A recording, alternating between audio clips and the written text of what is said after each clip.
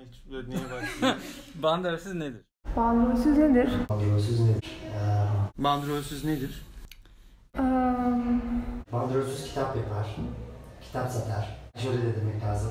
Sanatçı kitabı yapar.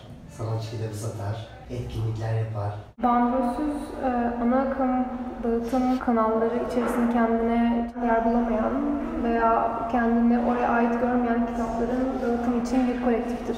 Kalabalık bir gruptur. Böyle kitaplar yapar. Ama kitabı yapan bandrolsüz değil. Kitap Yo satan. onlar da yani yapıyordu ama. Yapan da bandrolsüz. İşte önemli olan yapan da satan da bandrolsüz. Yani üreticiden halka böyle direkt. Güzel. Evet. Böyle.